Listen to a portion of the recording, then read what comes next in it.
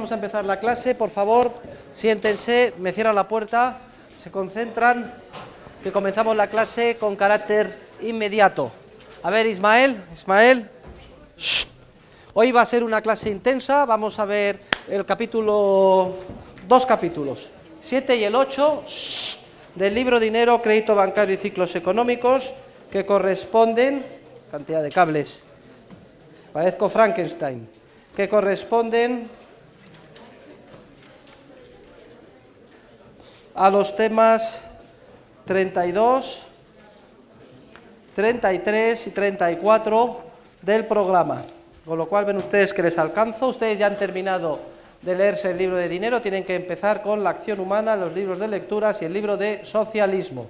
El próximo jueves terminamos dinero, crédito bancario y ciclos económicos para ya a partir de ahí lo que nos queda hasta el día 7 de mayo, los otros tres libros, La acción humana, libro de lecturas y libro de socialismo. ¿Hay alguna pregunta, y alguna duda? ¿Alguien quiere decir algo?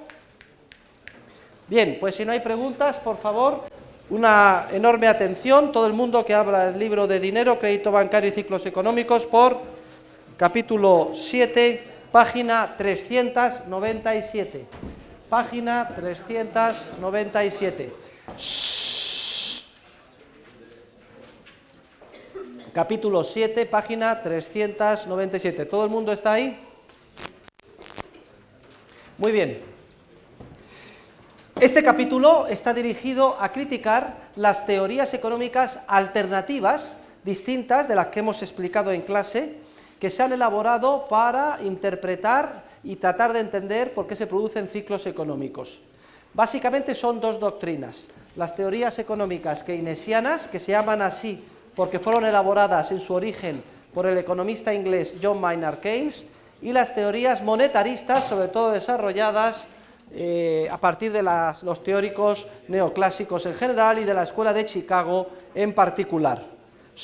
por favor, todo el mundo mirándome a mí, atendiendo, ¿eh? y el libro y tomando notas. Unos y otros, monetaristas y keynesianos, desde nuestro punto de vista, forman parte de la misma escuela general. Es la escuela que se llama de, los teóricos de la macroeconomía. Son teóricos que desarrollan la economía en base a agregados, que consideran que son estadísticamente medibles. Mises dice que se encuentran estas ambas escuelas en la etapa precientífica de la economía, en la etapa en la que todavía no se había producido la revolución subjetivista, que se inicia con Karl Menger y que fue la que introdujo el punto de vista subjetivista, es decir, la aplicación de la teoría de la utilidad marginal en general para explicar el valor de los bienes y en particular el valor del dinero. La revolución subjetivista, que se inicia con Menger, construye la ciencia económica siendo capaz de retrotraer todas las leyes económicas a la acción humana individual. Hasta la revolución subjetivista, los economistas clásicos fracasaron lamentablemente a la hora de tratar de explicar qué es lo que determinaba el valor de las cosas. ¿Por qué? Porque solo concebían la ciencia económica en términos de clases y agregados. No entendían por qué valía más el oro que el hierro o el pan, cuando obviamente el pan es más útil que el oro o los diamantes. El problema que tenían estos teóricos era un problema de que hacían la pregunta errónea, concebían la economía en términos de agregados y hacían la pregunta errónea.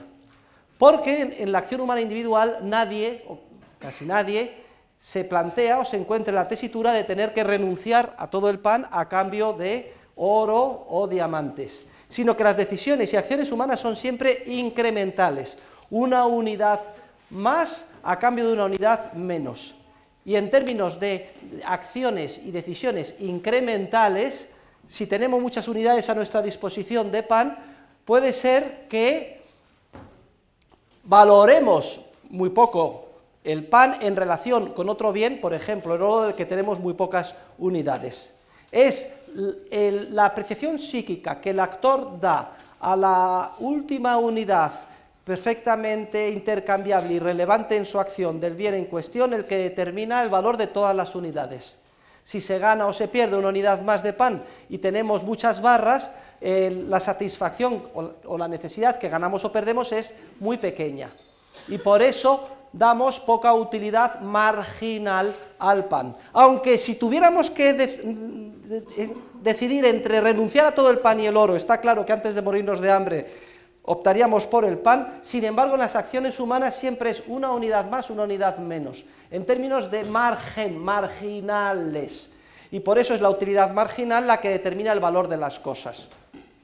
De esta manera quedó solucionada la paradoja del valor que obsesionaba a los economistas clásicos, que repito, por concebir la ciencia económica en términos de agregados y clases, nunca fueron capaces de solucionar tal paradoja. No entendían por qué, siendo más útil en general el pan que el oro, sin embargo, valía mucho menos.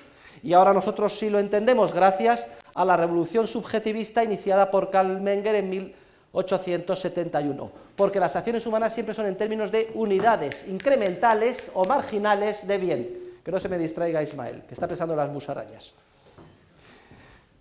Bueno, pues lo paradójico es que han seguido perviviendo estas dos escuelas, la de los monetaristas y la de los keynesianos, que siguen anclados en las formas arcaicas de pensar. Siguen pensando en términos de agregados, de clases, de supuestos, eh, supuestas cantidades medibles que estarían ahí fuera y se podrían medir estadísticamente, como nivel general de precios, demanda efectiva, etc. Y no son capaces de retrotraer, enraizar sus doctrinas económicas en base a la acción humana individual. Vamos a ver, por tanto, cómo ese enfoque agregado de los macroeconomistas, no importa que sea en su versión de los monetaristas o en su versión de los keynesianos, fracasa lamentablemente a la hora de interpretar qué es lo que sucede en la realidad. Y hecha esta pequeña introducción, que resume lo que decimos en el libro, vamos a empezar criticando a los teóricos llamados monetaristas. Miren, los teóricos monetaristas eh, parten de una tradición que es la escuela clásica, que repito, nunca fue capaz de explicar la paradoja del valor porque concebía la economía en términos eh, agregados de los bienes, y la principal característica de los monetaristas es que carecen de una adecuada teoría del capital. Ya les expliqué en clase, cuando vimos los rudimentos de la teoría del capital, que la teoría del capital es clave, es la que conecta el lado micro con el lado macro de la economía. Es la que nos, el puente que nos permite entender de qué manera eh, la inyección monetaria en forma de expansión crediticia impacta en las decisiones concretas de los empresarios y les induce o les lleva a que cometan de manera sistemática errores de mala inversión. Y ya veíamos cómo toda la teoría del capital giraba sobre el concepto temporal de la estructura productiva. Todo proceso productivo está constituido por una serie de etapas sucesivas, cada una de las cuales conlleva tiempo, y las visualizábamos con el ejemplo de la fabricación de un automóvil. Y las ilustrábamos con nuestros famosos esquemas triangulares, forzosamente hipersimplificados, suponíamos cinco etapas pero nos han permitido esos esquemas visualizar claramente de qué manera, se, por un lado, el ahorro genuino tiende a invertirse bien por los empresarios, dando lugar a una estructura productiva más capital intensiva, con más etapas, más vertical y que a la larga se hace, por tanto, más productiva. Y por contraste veíamos como cuando el proceso no se financia previamente con ahorro genuino, sino con expansión crediticia generada artificialmente por un sistema bancario que actúa privilegiadamente con reserva fraccionaria orquestado por un banco central, cómo se producía en un primer momento un efecto parecido de, de, alargamiento de la estructura productiva, pero que al estar financiado de manera artificial por expansión crediticia y no liberarse recursos reales como consecuencia del aumento del ahorro, ese proceso ineduliblemente tendía a revertirse en forma de, primero, una crisis financiera y después una profunda recesión económica. Pues bien, todo este enfoque que hemos visto es completamente ignorado por los monetaristas. Los monetaristas conciben la economía en torno a lo que ellos llaman el modelo del flujo circular de la renta. Es un modelo hipersimplificado en el que hay economías domésticas y empresas. Las empresas pagan renta a las economías domésticas que a su vez la gastan en los productos de las empresas y así sucesivamente. Modelo del flujo circular de la renta, que fue concebido eh, originariamente por el fundador de la Escuela Monetarista de Chicago, Frank Knight, y modelo cuya principal característica es que elimina completamente la concepción temporal de la estructura productiva. En ese modelo ya no hay etapas del proceso productivo, sino que simplemente hay dos sectores, el consumo y la inversión. Y lo que hacen las economías domésticas, las familias, cuando consumen, se traslada directamente a la inversión. Y no conciben que ésta esté constituida por una serie de etapas sucesivas, desde las más próximas al consumo hasta las más alejadas como veíamos en la extracción de mineral o en el diseño del vehículo. El modelo del flujo circular de la renta no es sino una hipersimplificación que elimina lo más importante del proceso productivo, que es su constitución temporal, su estructura temporal. Es una eh, aplicación en el ámbito, si quieren, de la macro, de otra conceptualización sincrónica que también elimina el tiempo, que es el modelo de equilibrio general de Balras. León Balras fue un economista matemático del siglo XIX que concibe la economía y la describe en base a un sistema de ecuaciones simultáneas, en la que todo sucede a la vez, en la que no hay, digamos, estructura temporal. Es una especie de foto de un modelo de equilibrio que elimina por definición, la creatividad empresarial y lo que es más importante, la estructura temporal por etapas del proceso productivo. Son dos los economistas que dentro de la escuela monetarista eh, aplican esta concepción que elimina el tiempo y la creatividad empresarial al ámbito de la macroeconomía. Básicamente, el economista norteamericano John Bates Clark. Clark concibe el capital como una especie de magma, un fondo que se autorreproduce solo, al margen de las decisiones individuales, es una especie de fondo que perdura eh, indefinidamente. Se refiere al self-perpetuing character, carácter autoperpetuador indefinidamente de ese fondo o magma que él considera que es el capital. Y esa misma concepción eh, absurda del capital como fondo o magma que se produce solo es la que hereda Frank Knight, el fundador de la Escuela de Chicago en la primera mitad del siglo pasado, del siglo, eh, del siglo XX. Los economistas austríacos eh, enseguida critican a fondo ese concepto eh, que califican erróneo del capital de, de Clark y de Knight. Concretamente, von Baberg se refiere, y vayan a la página 404 del libro, se refiere al carácter mitológico o místico del capital. ¿Qué es eso de que el capital es un fondo, un magma que se autorreproduce solo? Lo que existe en la vida real es una estructura muy complicada de bienes de capital, que están insertos en las diferentes etapas del proceso productivo y que de ninguna manera, una vez que existen, están ahí ya de forma indefinida y se autorreproducen solos por arte de birli-birloque. Todo lo contrario que esos bienes de capital sean concebidos, fabricados, que se mantengan, que se haga o no frente a su depreciación, que se aumente o no el stock de bienes de capital, depende de que se tomen o no múltiples decisiones y acciones empresariales concretas.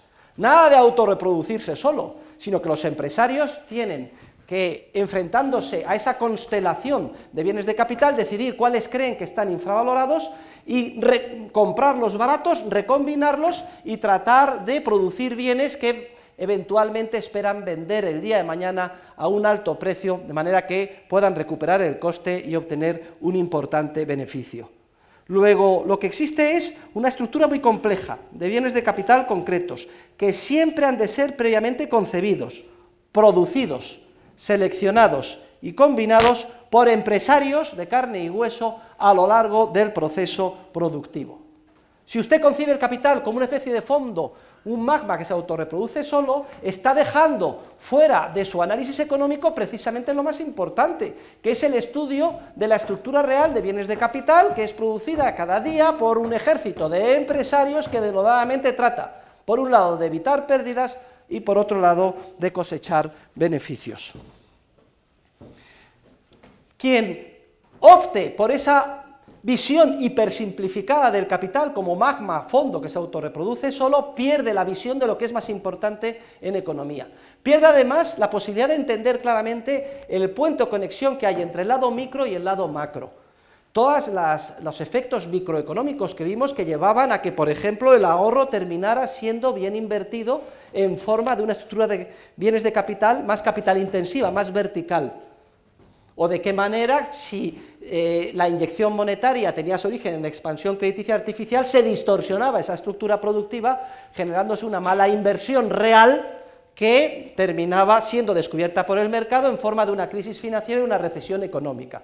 Los teóricos monetaristas, al carecer de una teoría del capital y concebirlo de una manera tan mítica y mística como la del fondo que se autorreproduce solo de Clark y Knight, no son capaces de entender ni el proceso de acumulación de ahorro que se plasma en una estructura de bienes de capital más intensiva, ni el proceso de mala inversión generalizada que se induce en el sistema como consecuencia de la expansión crediticia artificial.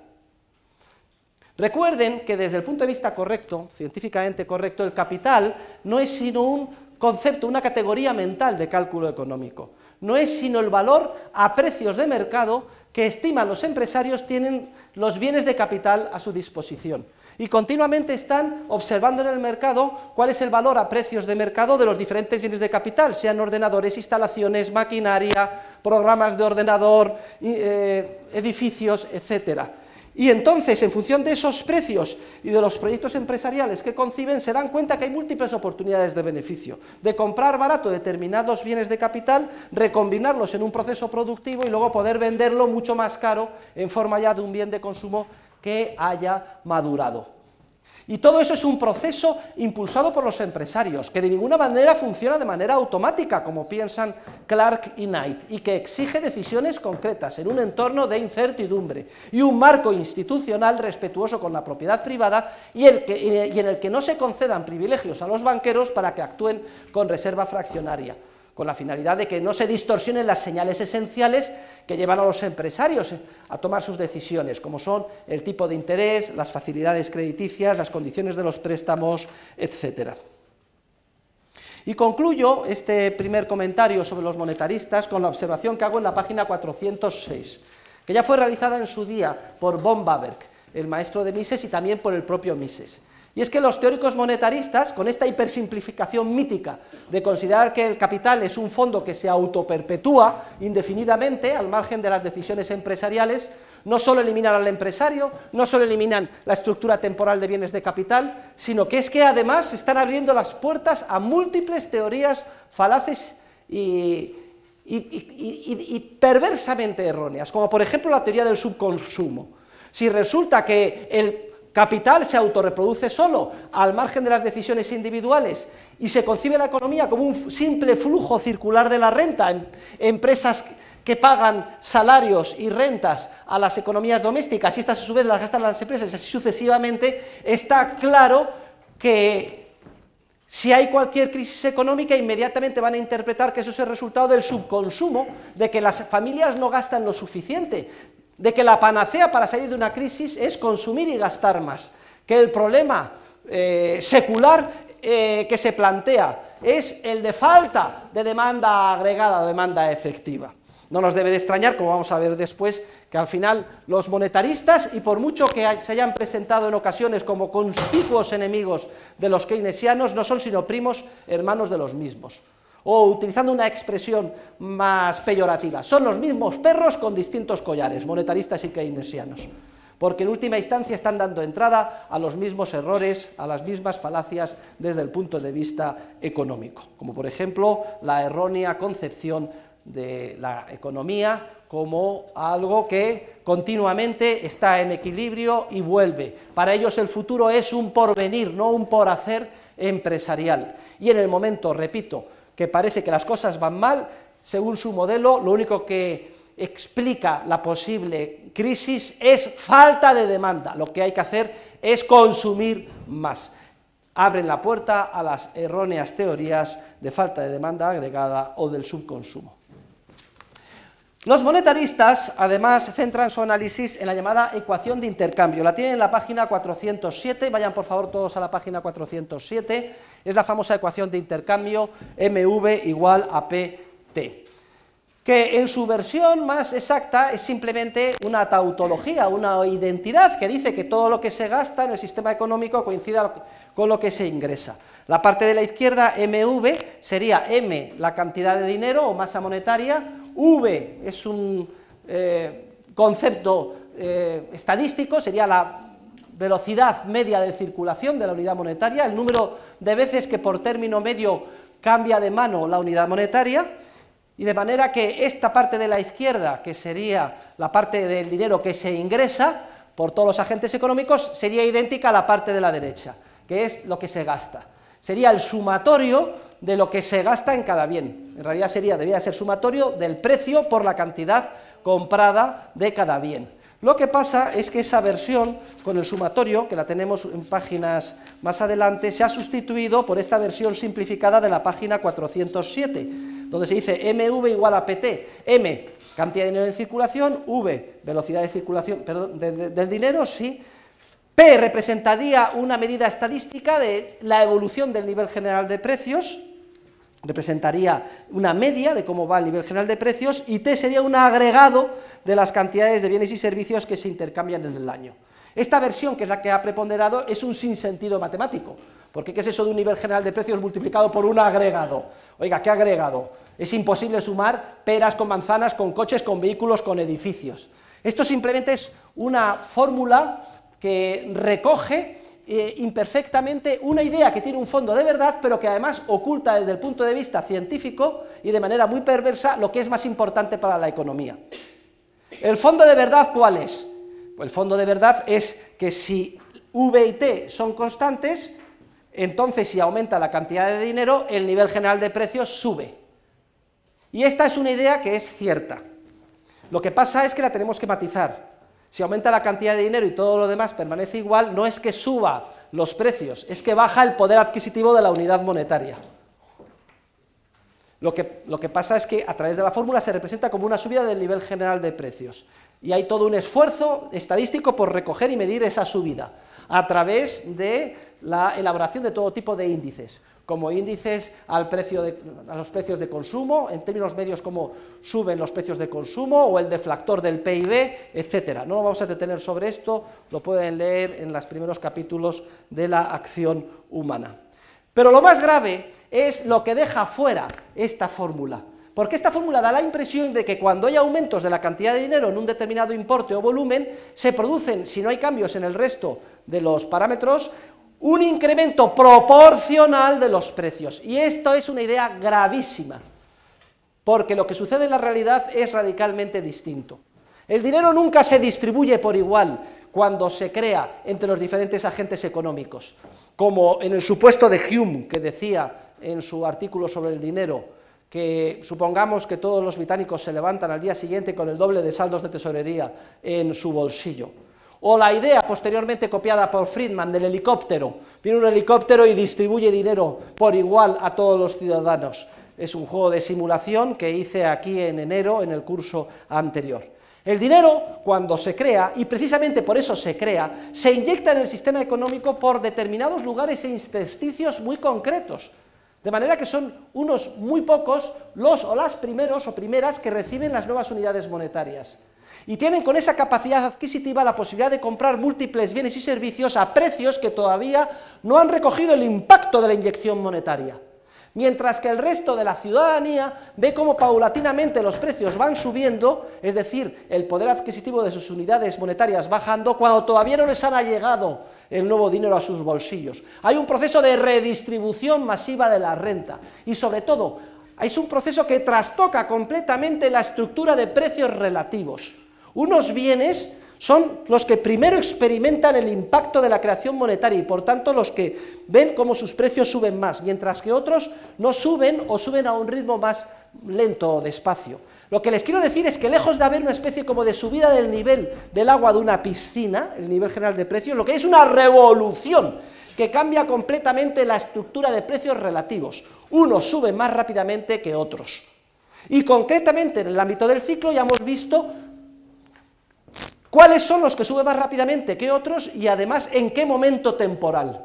¿No se acuerdan en el ámbito del ahorro genuino o en el ámbito de la expansión crediticia lo que pasaba? Cuando se inyectaba dinero, subía muchísimo. Primero, ¿qué pasaba? El precio de los factores de producción.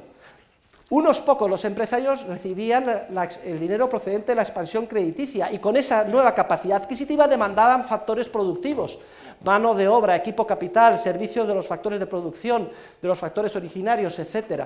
Esos precios de esos bienes crecían mucho más que los demás y su representación correspondiente en forma de títulos, valores en la bolsa, mientras que el resto de los precios no subían. Luego hemos visto que después de un lag temporal, en una segunda, tercera, cuarta fase, ese dinero terminaba llegando al bolsillo de los consumidores, que como no habían modificado la proporción en la que decían, decidían consumir y ahorrar, dedicaban las nuevas capacidades monetarias a comprar bienes de consumo. Y veíamos cómo temporalmente se producía un aumento después del precio de los bienes de consumo, y además más que proporcional que el anterior de los precios de los bienes de capital, lo cual daba lugar con el efecto Ricardo a que se revirtieran todos los efectos vistos. Y después el efecto, veíamos, de crecimiento del precio de los bienes presentes en función de los bienes futuros, que era el tipo de interés. En suma, los seis efectos microeconómicos esenciales a través de los cuales el mercado descubría ineludiblemente los errores de inversión cometidos por los empresarios cuando las señales esenciales que les guían a la hora de invertir son distorsionadas por un proceso bancario de expansión crediticia. Y todo este proceso en el que vemos que hay cambios sucesivos y súbitos de los precios relativos de diferentes bienes, bienes de capital, bienes de consumo, tipo de interés, es completamente eliminado del análisis por la ecuación de intercambio de los monetaristas, que como solo se fija en la masa monetaria, la velocidad del dinero, el nivel general de precios y la cantidad o a supuesto agregado de bienes reales comprados, lo más que pueden entender con esa fórmula es que si aumenta la cantidad de dinero los precios suben, pero queda fuera del análisis cuáles son los que suben primero, en qué momento, los que suben después, y por tanto no son capaces de entender toda la teoría del ciclo que hemos explicado en clase. Para los monetaristas, las crisis financieras y las recesiones económicas son un profundo misterio.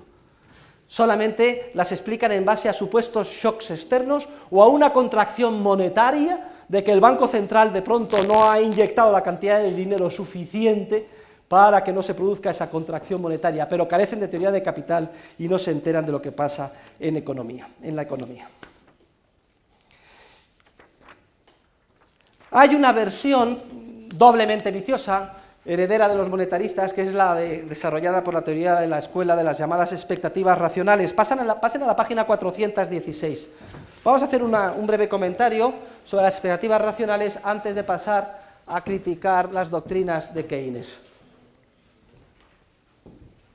Los teóricos de las expectativas racionales, que se agrupan a finales, en el último cuarto de siglo, el último cuarto del siglo pasado, en torno a la llamada nueva macroeconomía clásica, tienden a, bueno, desarrollan un análisis según el cual los agentes económicos son como si dijéramos una especie de Superman, unos superhombres y supermujeres que son capaces de hacer predicciones correctas y exactas de todo lo que va a suceder en base a la información que ven en el mercado.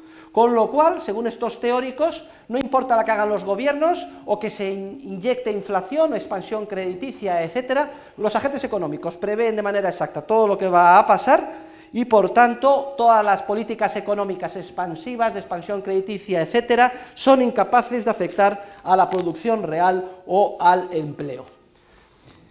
Ni que decir tiene que los teóricos de las expectativas racionales casi son, eh, digamos, la quinta esencia del error a la hora de entender lo que pasa en economía. Para ellos el mercado es redundante, es innecesario, porque los agentes económicos son casi omniscientes y son capaces de, eh, de predecir exactamente lo que va a suceder. Pero por las mismas razones que explicaremos que el socialismo es teóricamente imposible, y la razón básica es que es imposible que el órgano central de planificación se haga con la información necesaria de primera mano que tienen los agentes económicos de a pie para dar un contenido coordinador a, sus mandatos, Los teóricos de las expectativas racionales cometen el mismísimo error, pero invirtiendo quiénes son los supuestamente omniscientes. Ahora serían los agentes económicos de a pie, es decir, todos nosotros, millones y millones de seres humanos, los que, punto número uno, seríamos capaces de tener una teoría exacta y ponernos de acuerdo sobre la teoría correcta del ciclo económico. Es decir, toda la humanidad debería de pasar por mis clases, leerse mi libro Dinero, Crédito Bancario y Ciclos Económicos y todos estar convencidos de que lo que produce el ciclo es lo que yo he explicado en clase.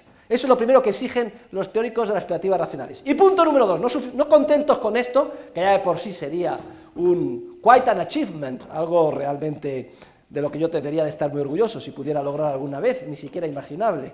¿eh? Pero no contentos con eso, también exigen que además no solo estén todos de acuerdo con la teoría correcta del ciclo, que no les quepa a ustedes ninguna duda que la teoría correcta del ciclo es la que yo explico, y no la que explican los monetaristas y los keynesianos. ¿eh? No contento con esto, los teóricos de las expectativas racionales además exigen que todos los agentes económicos dispongan de la información de primera mano que les permita conocer exactamente el cómo, el cuándo y el de qué manera se van a producir los diferentes puntos concretos del ciclo. Y esa es una información, queridos amigos, queridos alumnos, que es imposible de obtener. Entre otras cosas, yo como profesor de economía no la tengo. Como científicos de la economía podemos saber en términos formales cómo funcionan los procesos de mercado y de qué manera, por ejemplo, la expansión crediticia distorsiona las decisiones de los empresarios, genera malas inversiones y luego ineludiblemente se descubre por el mercado y surge una crisis financiera primero y luego una recesión económica. Pero lo que no sabemos es el cómo, el cuándo, los detonantes concretos. Si yo lo supiera, queridos alumnos, no sería profesor de economía de ustedes, sería multimillonario, mil veces más rico que Warren Buffett. Estaría dándome, haciendo un crucero por el mundo con un barco de 200 metros de eslora, etc. Si lo supiera, no estaría aquí. Ese es un conocimiento empresarial que se genera de primera, de primera, mano por los empresarios día a día en el mercado, que está disperso ¿eh? entre la mente de los miles de millones de seres humanos que constituyen eh, la humanidad y que continuamente está siendo creado ex novo. Pues fíjense, lo que los teóricos de las expectativas racionales exigen es no solo que tengan un conocimiento en términos formales o científicos de lo que de verdad produce el ciclo, lo que enseñamos en clase, sino además disponer de ese conocimiento de primera mano que continuamente están generando los empresarios, lo cual es totalmente absurdo e imposible. Es más, Aun admitiendo efectos dialécticos, que yo pudiera convencer a todo el mundo de que mi teoría es la correcta, que la es, y además que todo el mundo pudiera tener un conocimiento exacto de lo que va a pasar, cómo, cuándo y de qué manera, aún así se seguiría produciendo el ciclo. Porque lo que no podemos considerar es que el mercado sea redundante, es decir, que sobre el mercado, que podamos meter sus datos en un ordenador y ya nos salga a la velocidad de la luz el resultado. El mercado es un proceso social de creatividad y descubrimiento. Y aunque todos tengamos la idea correcta desde el punto de vista teórico de cómo evoluciona el ciclo y un conocimiento de primera mano sobre la información práctica que se genera, si pensamos que podemos salirnos a tiempo antes de que se produzca la debacle, claro que aceptaremos el dinero creado de la nada por el sistema bancario. Nos podemos ganar mucho dinero comprando a precios antiguos y vendiendo en bolsa o los correspondientes bienes de capital cuando tengan precios altos antes de que se produzca el desmoronamiento bursátil. Luego, a caballo regalado, como digo en el libro, dinero regalado a tipo de interés cero, como ha estado en los años pasados, o incluso negativo, no se le miran los dientes, yo le echo mano. Claro que he ido a las clases del profesor Huerta de Soto y sé que esto se va, va a terminar como el rosario de la aurora, pero que me regalan el dinero, voy a comprar estos bienes y, yo que no, soy, no tengo un pelo de tonto me voy a salir a tiempo, que es precisamente, acuérdense, lo que hizo ese economista irlandés que recaló en España y terminó siendo banquero en París, que se llamaba Ricardo Cantillón. ¿eh? Él tenía un buen conocimiento de la teoría, también un conocimiento de primera mano de lo que estaba pasando con la burbuja eh, piramidal de John Lowe en la Francia del regente, Felipe de Orleans, y se supo salir a tiempo. Luego, incluso admitiendo efectos dialécticos, que se den las hipótesis absurdas e irrealizables de los teóricos de las expectativas racionales, claro que la inyección monetaria distorsiona la estructura de precios relativos, porque mientras no consideramos que el mercado como una especie de mecanismo automático que funciona a la velocidad de la luz, es decir, no consideremos, que el mercado es redundante o innecesario como proceso social de descubrimiento, múltiples agentes económicos pueden ganar mucho dinero si es que saben salirse a tiempo. Ahora bien, al igual que sucede con eh, la ecuación de intercambio que acabamos de criticar de los monetaristas, hay un pequeño, pequeñísimo fondo de verdad en la teoría de las expectativas racionales que reconoce Mises en su análisis y dice que en la medida en que los eh, diferentes agentes económicos, una vez a lo largo de su vida y otra y otra, sean víctimas de un proceso de expansión crediticia iniciado por la banca que les lleva a invertir mal y luego pues las pasan canutas para reestructurar sus negocios y es que nos arruinan, ya la segunda o la tercera dicen, tate, antes de lanzarme voy a ver si esto hay algún indicio de que tenga un origen de inyección monetaria o de expansión crediticia, y me las van a tener que convencer mucho para que yo acepte la segunda o tercera vez crédito barato. Luego, esto explica que, como decíamos el otro día, eh, cuando se produce un proceso de expansión crediticia, el mercado tiende a descubrir enseguida los errores y se producen los seis efectos que paralizan y dan lugar al desmoronamiento de lo malamente invertido, empezando por una crisis financiera. Decíamos que eso se puede eh, detener inyectando más dinero, dando más alcohol al borracho, pero a costa de, ¿de qué? De, de, posponer temporalmente que llegue la recesión, a costa de que luego cuando llegue sea inexorablemente mucho más dura porque sobre unos errores de inversión se solapan otros. Y poníamos el ejemplo de lo que, sucedió en la crisis del 2001, que se abortó como consecuencia del ataque al World Trade Center. ¿Se acuerdan? Pues bien, cada vez hay que inyectar más y de manera progresivamente creciente expansión crediticia para mantener la burbuja. Y esto de alguna forma recoge el pequeño fondo de verdad que tiene la teoría de las expectativas racionales y es que los agentes económicos no son tontos, terminan aprendiendo y al final hace falta siempre una inyección monetaria progresivamente acelerada o creciente que pille por sorpresa a estos agentes económicos y de alguna forma posponga el desencadenamiento de los seis efectos que eh, ponen fin a la burbuja. Lo que los teóricos monetaristas piensan, y en general, y los de las expectativas racionales en particular, es que el dinero es neutral. Para ellos, ellos piensan que el dinero es neutral, es una especie de velo y que no afecta eh, a la, economía. Y lo que nosotros estamos viendo aquí es que la concepción temporal del proceso productivo y la correcta comprensión del dinero conecta a través de ese puente que es la teoría del capital, el lado real de las inversiones reales de los empresarios con el lado monetario. Y la conclusión a la que llegamos es que el dinero jamás es neutral, ni a corto, ni a medio, ni a largo plazo. No es neutral a corto porque se inyecta el dinero e induce una inversión errónea, ni a medio ni a largo, porque aunque se produzcan todos los efectos y se descubra que es un error la inversión, la estructura productiva que queda, una vez que se reestructura, se despida a los trabajadores, tratamos de digerir los errores, etcétera, es muy distinta a la que habría habido si no se hubiera inyectado esa masa monetaria artificial procedente del, del sistema bancario que actúa con reserva fraccionaria. Jamás el dinero es neutral. El dinero, por el contrario, eh, tiene una fuerza impulsora. No cabe concebir, además, una unidad monetaria que no tenga fuerza impulsora. Un dinero neutral es que ni siquiera sería dinero, porque lo que caracteriza al dinero es que es una capacidad adquisitiva que tienes en el bolsillo y que cuando compras modificas algo de la realidad. En términos reales cambian las cosas. De ninguna forma el dinero es neutral, como piensan estos teóricos macroeconomistas de la escuela monetarista. Bien, eso es un resumen muy breve, ahora luego lo vamos a recapitular en el cuadro comparando el enfoque austriaco con los enfoques macroeconómicos, keynesianos y monetaristas. Ahora vamos a hacer algunas pequeñas reflexiones sobre la teoría keynesiana. La verdad es que no sería preciso hablar sobre la teoría keynesiana si no fuera porque durante casi 40 años se ha utilizado para justificar el intervencionismo monetario y fiscal de los gobiernos, desde la Segunda Guerra Mundial hasta que entró en crisis, con la mal llamada crisis del petróleo, a finales de los años 70 del siglo pasado. También tenemos que estudiar la teoría keynesiana porque todavía son muchos los economistas que solo han estudiado la, la macroeconomía keynesiana, forman parte de esa generación perdida de economistas en el marasmo keynesiano en términos de Hayek.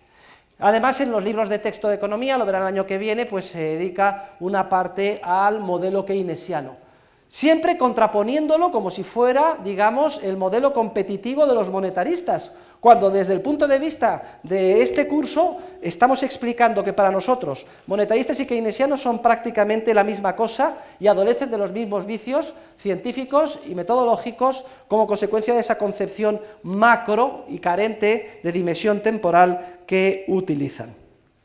Pero es que además es importante utilizar el modelo keynesiano porque eh, o explicarlo porque se utiliza muy a menudo en la vida real, en, el sentido de que está detrás de muchas de las tonterías que se leen en los artículos de prensa económica, que se escuchan en los debates económicos en el del Parlamento, etc.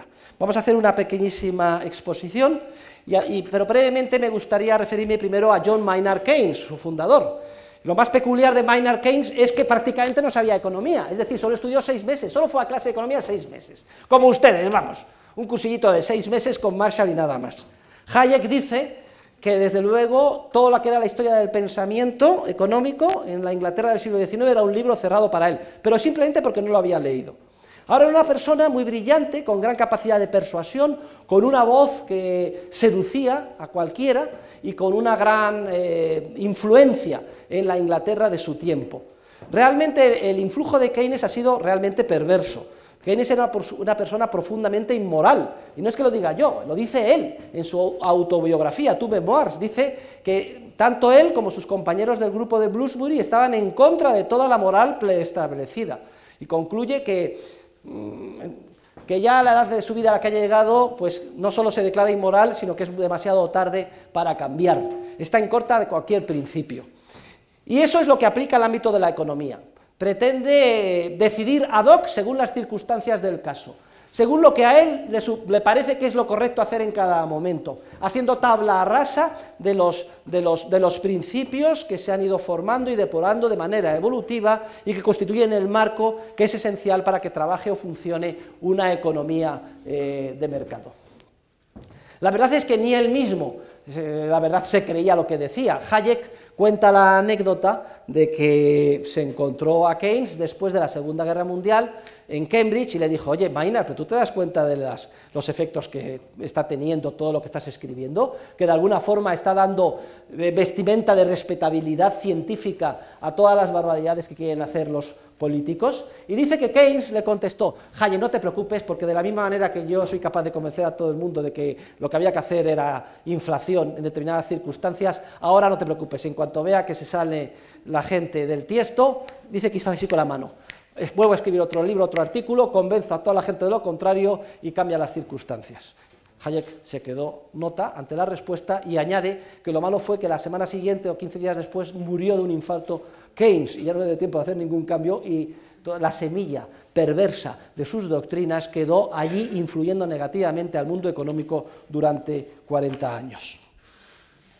Bueno, ¿qué es lo que dice? Vamos a ver muy resumidamente el modelo keynesiano. Ya saben ustedes que a mí no me gusta eh, utilizar gráficos, pero simplemente para que lo podamos entender de manera simplificada.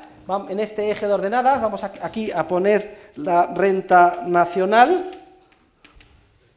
que se ingresa y la renta nacional que se gasta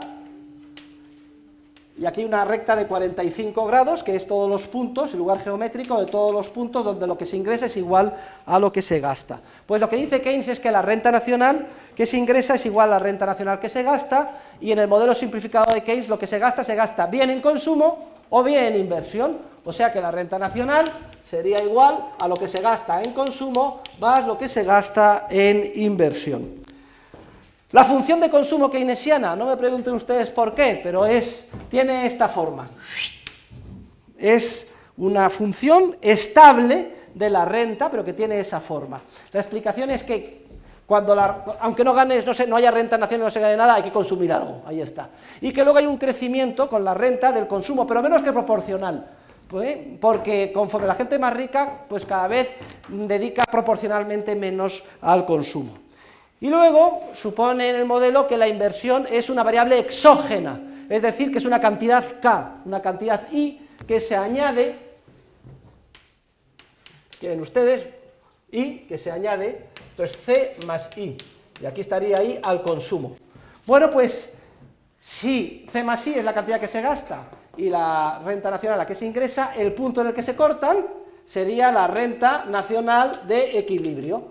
Y lo que dice Keynes es que puede ser que esa renta nacional de equilibrio no garantice el pleno empleo, que haya un equilibrio con desempleo. Y esto es resultado a que no se gasta lo suficiente. El malo de la película en Keynes es el atesoramiento y el ahorro, por eso la paradoja del ahorro keynesiano.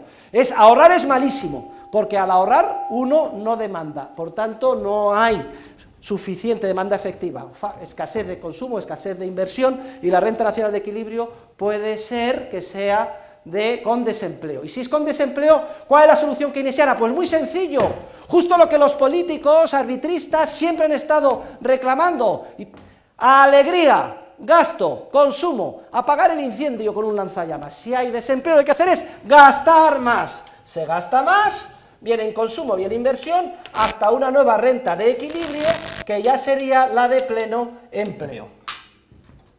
Ese es brevemente explicado el esquema keynesiano y la solución keynesiana a las crisis. Más gasto público, en forma de consumo, en forma de obras públicas, en forma de política fiscal. Reducir el tipo de interés, desde luego, pero no es suficiente, porque lo reduce a cero y a lo mejor no reaccionan los, los agentes económicos, se produce lo que se llama la trampa de la liquidez. Gasto, gasto y gasto. Claro, y eso a los políticos les encanta. Y cuando salió el libro de Keynes en el año 36, la teoría general de la ocupación, del interés y del dinero, vamos, es que estaban encantados los políticos. Por fin había alguien que después de 200 años les daba, les abría la puerta para el gasto barra libre y todo tipo de aventuras financiadas a través de los políticos, porque eso es lo que hay que hacer, gastar y consumir para salir de una profunda crisis. Y luego se completa este análisis con el famoso multiplicador keynesiano. ¿eh? El multiplicador keynesiano parte de lo mismo, que la renta nacional es igual al consumo más la inversión, entonces el consumo sería una función estable de la renta nacional, vamos a suponer que es 0,8 de la renta nacional. Entonces, si nosotros sustituimos este valor del consumo arriba, quedaría que la renta nacional sería igual a 0,8 de la renta nacional, que es el consumo más la inversión I. Si pasamos, esto sí que es una álgebra complicadísima, Pasamos esto al primer miembro, pasa restando y sacando factor común, Rn menos 1,08 igual a I. Al final queda que la renta nacional es igual a lo que se gasta en inversión partido por 1 menos 0,08, es decir, 0,2. Es decir, 5 veces I. Este es el multiplicador keynesiano. Por cada millón o billón de euros que gaste usted en inversión, la renta nacional se va a multiplicar por 5 por eso se llama multiplicador, que es la inversión de lo que llaman la propensión marginal al ahorro o uno menos la propensión marginal al consumo. Luego está clarísimo, con este instrumental todo el mundo contento, ya entendemos por qué no hace demasiados meses, antes del verano, se nos decía desde el gobierno que por favor lo que tienen que hacer ustedes es consumir, no dejen de consumir, porque si dejan de consumir se hunden todo. Por favor, oiga, es que no puedo seguir consumiendo porque a lo mejor me echan del trabajo porque tengo que pagar la hipoteca. Bueno, pues que todo el mundo consuma lo que pueda. Porque al consumir, no solo se hace usted un bien, porque vive mejor y tiene más bienes de consumo, sino que además es usted alguien que está haciendo un bien, es usted un filántropo, está haciendo un bien a toda la sociedad. Lo que tengo que hacer es consumir. Pero resulta que afortunadamente los agentes económicos, ni las empresas, ni las familias han hecho caso a todos estos políticos que basándose en Keynes decían esas tonterías. Todo lo que estamos haciendo es ahorrar. Porque lo que hemos visto en nuestro análisis es que la crisis es por exceso de consumo o por falta de ahorro, motivada por una expansión crediticia sin base de ahorro real. Y tenemos que ahorrar para salir cuanto antes de la crisis. Es justo lo contrario de lo que hay que hacer. Fomentar el consumo, como se deduce del análisis keynesiano, en una etapa de crisis con desempleo, es tratar, como decía antes, de apagar un incendio literalmente con un lanzallamas. ¿Cuáles son las críticas a la economía keynesiana? Las tienen ustedes en el libro, no vamos a entretener con ellas en detalle. Simplemente vamos a hacer una pequeña enumeración de los aspectos más importantes. En primer lugar, el modelo keynesiano es una pura elucubración mental, sin contacto alguno con la realidad de los procesos de mercado, con la realidad que diría Mises praxeológica. Está elaborado en términos estrictamente, como ven ustedes, gráficos o en términos algebraicos, Pero un razonamiento matemático puede ser impecable desde el punto de vista de la operativa de los pasos intermedios y, sin embargo, como explicaba en clases anteriores, antes de Navidades, carecer completamente de racionalidad económica. Aquí se pretende que hay una función de consumo que tiene esta forma, de dónde se ha extraído y por qué. Pero con independencia de que en el pasado ya tenga haya tenido esta forma, que no, está demostrado, no, hay ninguna garantía de que la tenga hoy ni que la tenga el día de mañana. Y además, aunque la tuviera, el hecho de que pensando que gastando más a través de este automatismo del multiplicador se va a multiplicar la renta nacional, carece de lógica económica, porque en la vida real lo que sucede es justo lo contrario. Vamos a demostrarlo de una manera muy sencilla, para que ustedes hagan una idea. Es como si yo digo, ¿multiplicador keynesiano? No. Vamos a, me voy a presentar a ustedes un multiplicador mucho mejor. ¿Qué es esto de que se aumente la inversión?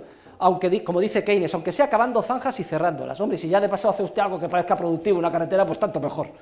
Que con eso aumenta la renta nacional. No. Nada de multiplicador keynesiano, que solo multiplica por 5 la renta nacional por cada millón de euros que se fabrica, se inyecta o que se gasta. Miren un multiplicador mucho más potente que el keynesiano, el multiplicador del profesor Huerta de Soto, es decir, de un servidor.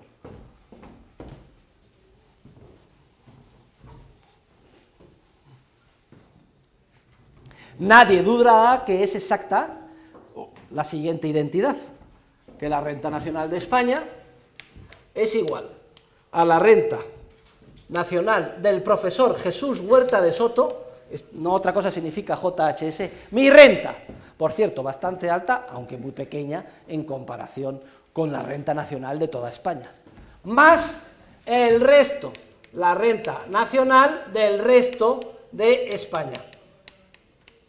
¿Alguien duda de que esto es cierto?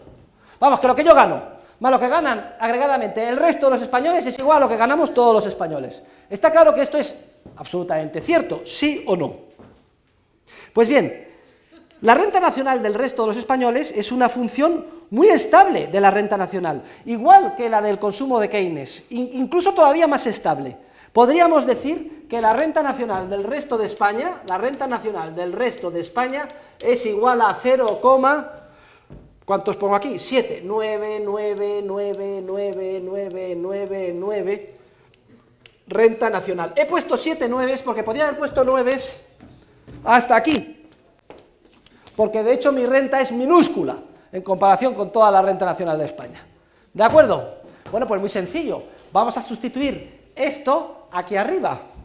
Si lo sustituimos eso allá arriba, veremos que la renta nacional es igual, lo voy a poner en el primer miembro, a 0,99, en el primer término del segundo miembro, 99999 la renta nacional de España más la renta nacional del profesor Huerta de Soto. Paso al primer miembro y saco factor común, y por tanto que la renta nacional 1 menos 0,999999, bien, es igual a la renta nacional mía.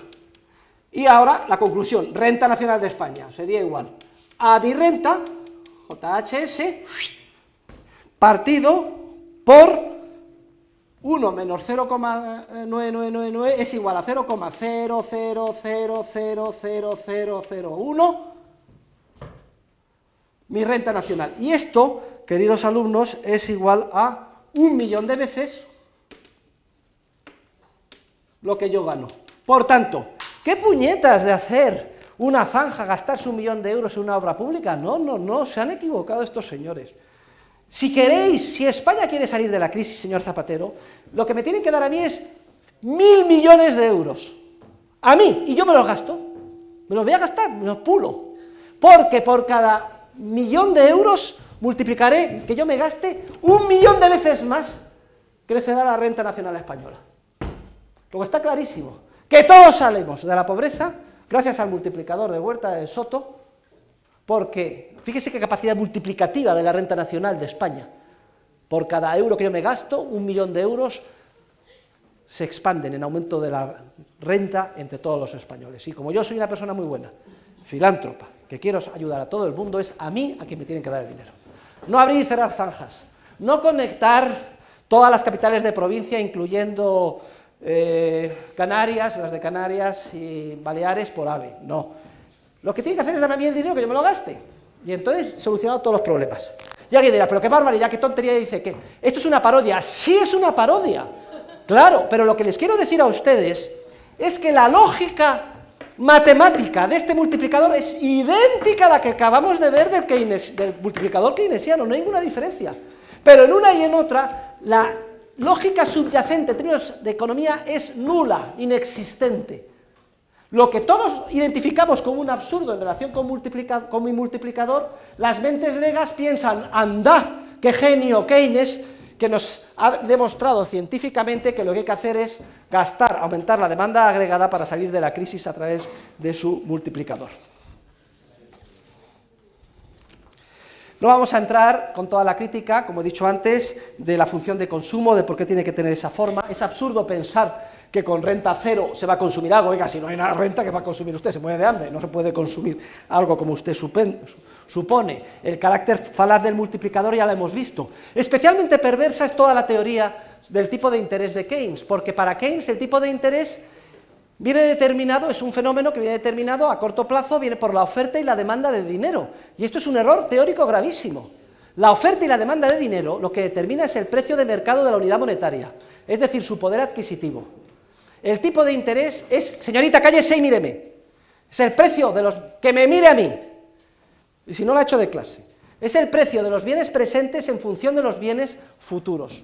Entonces Keynes se empeña en decir que el tipo de interés viene determinado por la oferta y la demanda de dinero. Claro, es lógico. Él lo que quiere es que se gaste. Él lo que quiere es expansión crediticia, bajar el tipo de interés. La manera de bajar el tipo de interés de inmediato es inyectando expansión crediticia y bajando el tipo de interés que se pide para que te pidan los préstamos, acepten esos préstamos de nueva creación los agentes económicos.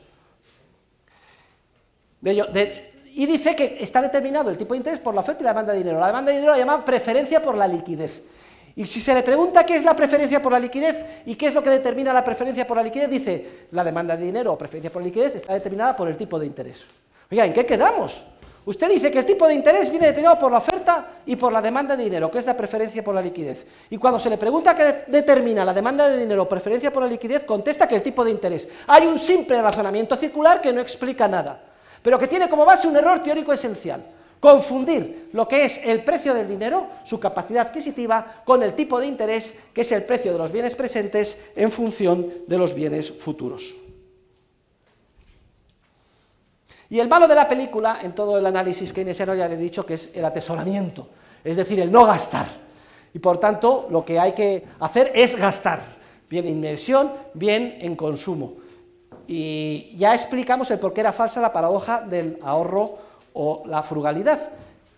¿Por qué no entiende Keynes lo que hemos explicado en clase? Básicamente porque como no estudió economía, no vino a mis clases, no se leyó el libro de Bombaber, carecía de teoría del capital.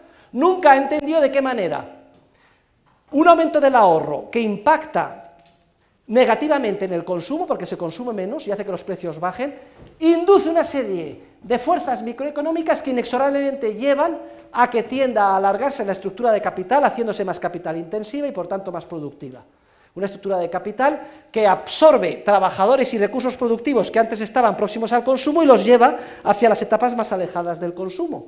Y que cuando puede culminarse de manera sostenible, madura con un flujo de bienes de consumo mucho más elevado y con calidad más alta, lo cual hace que el nivel de vida de todos los trabajadores crezca con los mismos o parecidos salarios nominales. Nunca entendió Keynes que se puede ganar dinero aunque tus ventas no crezcan. Porque el beneficio, queridos alumnos, y es obvio, todo el mundo lo sabe, es el resultado de una resta, es decir, ingresos menos costes. Minuendo y sustraendo. Y si tú no tienes ingresos que crezcan o decrecen, puedes seguir ganando dinero si bajan los costes. ¿Y cómo se bajan los costes? En el margen sustituyendo mano de obra por equipo capital. Y por tanto se despiden trabajadores en las etapas próximas al consumo y esos trabajadores ¿a dónde van? A producir el equipo capital, los tractores, los ordenadores, etcétera. Nunca lo entendió Keynes porque, repito, por asombroso que parezca, no fue como ustedes a las aulas de economía, ni estudió, ni sabía economía. Era una persona muy arrogante que se creía que lo sabía todo y que podía asimilar cualquier cosa. Pero enseguida se le pillaba. Hay una anécdota de Churchill muy curiosa que dice, he estado con Keynes, ayer estuve con cuatro economistas y escuché cinco opiniones distintas. ¿Y cómo es eso posible? Dice, porque estaba Keynes entre ellos. Cada uno de los tres economistas tenía su opinión y cada Keynes tenía dos y además opuestas. Le gustaba siempre epatar ¿eh? con una doctrina contraria. Todo el mundo cuando quedaba convencido de pronto le decía la otra y pensaba que podía jugar con la gente. Si alguien quiere meterse en el mundo de Bloomsbury, que coja la biografía de Keynes escrita por Skidelsky en tres volúmenes, que no tiene desperdicio, encontrarán todo tipo de... Bueno, una, la visión de un movimiento que hizo mucho daño en el Reino Unido y también en toda la humanidad, completamente amoral en el ámbito de la concepción de las ciencias sociales, pero también del comportamiento eh, personal. Y lo más grave de Keynes es que al final toda su teoría se reducía a una cosa, a engañar a los trabajadores reduciéndole los salarios reales haciendo inflación. Ya saben que la causa inmediata del paro es que los salarios son demasiado altos y los mercados laborales rígidos. Aunque la causa mediata o indirecta es la expansión crediticia, que lleva a los trabajadores a contratarse allí donde no deben de estar. Cuando el mercado lo descubre es preciso que se efectúen trasvases masivos de factores de producción de unos lugares donde no deben de estar, que no son líneas económicas viables, hacia otros. En esa fase estamos ahora, en eso es la recesión. Si el mercado laboral es muy flexible, se hace rápidamente, si es rígido, se mantiene un alto volumen de desempleo durante un periodo de tiempo muy prolongado, lo que está pasando en España. Y una manera de solucionar ese problema es engañando a los trabajadores. Lo que se hacía en España cuando no estábamos en el euro, con la peseta, ¿qué es lo que se hacía? ¿Qué es lo que se hizo en la crisis anterior con Solchaga? Se devaluó la peseta tres veces. De la noche al día se les expropió a los españoles el 20% de todo, su riqueza y su renta. Y al día siguiente la gente sería tan contenta pensando que no había pasado nada.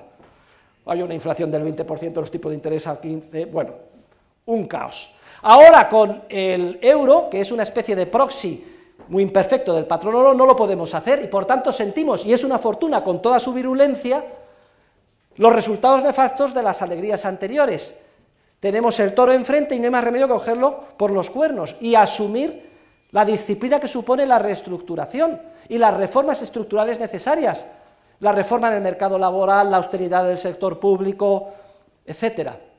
Los políticos por primera vez están desnudos ante los ciudadanos e impotentes, no pueden hacer nada, no pueden manipular con políticas keynesianas engañando a los ciudadanos, porque al final la política de Keynes en qué consiste? En inyectar dinero por vía de gasto público, políticas fiscales y monetarias, de manera que al devaluarse el poder adquisitivo de la unidad monetaria, se produce un efecto de ilusión monetaria, se reducen los salarios reales de los trabajadores y se absorbe el paro porque se baja el nivel de vida de los trabajadores, pero no por la vía de que estos tengan que asumir una reforma de liberalización laboral o bajadas en sus salarios nominales, sino por la vía de que ven que los precios de lo que compran crecen mucho más rápidamente que los aumentos de sus salarios. Pero, ¿qué pensaba Keynes? ¿Que los trabajadores son idiotas, que no se iban a dar cuenta de esto? Al final terminan, en última instancia, dándose cuenta y piden aumentos salariales que al menos compensen por la disminución del poder adquisitivo de la unidad monetaria. Luego, en última instancia, no se consigue con la medicina keynesiana nada, pero con un coste inmenso, porque esa inyección monetaria vía expansión crediticia y gasto público distorsiona la estructura productiva, genera errores sistemáticos de inversión y lleva a los factores productivos allí donde no deben de estar. La tan cacareada teoría general de Keynes nunca fue una teoría general. Queridos alumnos, excusatio non petita, accusatio manifesta. Si tú eres un padre y llegas a casa y encuentras a tu hijo pequeño y lo primero que te dice es, papá, no he sido yo, estás convencido de que primero ha, hecho alguna barra basada y que además ha sido él. Si yo no te había preguntado nada, no te pongas la venda antes de la herida. Pues cuando dice Keynes teoría general de la ocupación del interés y del dinero, es que eso no es una teoría, desde luego, y mucho menos general. Eso es un truco para engañar a los trabajadores en un momento histórico concreto donde a la desesperada, tipo en Grecia ahora todo el mundo manifestándose, se considere que no se puede hacer ninguna reforma estructural y la única manera de evitar que haya una revolución es devaluando la unidad monetaria, que los precios suban y expropiando a los trabajadores su renta sin que se den cuenta. Es decir, en todo caso una teoría particular solo aplicaba en las circunstancias más profundas de una recesión económica. Pero ojo, sin base científica y al coste tremendo de que esa inyección monetaria no produce efectos tipo agregado, como los recogidos en la ecuación de intercambio, de que el nivel general de precios sube, sino que el dinero no se repartirá nunca de manera por igual a todos los ciudadanos, tipo, oiga, no me distraiga, el del pendiente, tipo helicóptero monetario, sino que uno lo reciben antes, otro lo reciben después, se distorsiona la estructura productiva, se generan malas inversiones y se hace que el problema sea mucho más grave, porque todos los recursos que se han invertido mal están habrán conseguido a corto plazo trabajo, pero es un trabajo no sostenible. Inmediatamente están en una situación de desequilibrio, se descubre que no son viables esas líneas y hay que volver a llevar a los trabajadores hacia otro lugar. Es peor el remedio que la enfermedad. En la página 423 del libro tienen los comentarios sobre la ley de Say, que Keynes decía, Keynes mete además en el mismo saco, vete a los austriacos con los monetaristas, que no tienen nada que ver, Hayek. Criticaba la ley de Say, que dice que la oferta genera su propia demanda. Ya hemos visto cómo, mucho antes que él, Hayek y los economistas austriacos explicaron que en múltiples ocasiones la oferta de la estructura productiva no coincide con la que quieren los consumidores y demandan, cuando se ha distorsionado precisamente por el proceso de expansión crediticia. En eso consiste toda la teoría del ciclo y todo lo que explica la teoría del capital, pero como Keynes la desconocía, hace una hipersimplificación y mete a todos en el mismo trapo. Respecto a los argumentos de Keynes sobre la expansión crediticia, es que son de chiste, leanlos ahí, ¿eh? dicen que la expansión crediticia no es nada mala. Primero porque Primer argumento, las posiciones acreedoras y deudoras se cancelan mutuamente. Lo que, unos, lo que deben unos ah, eh, es lo que otros tienen como posición acreedora y por tanto que se cancele y que no tiene efectos económicos.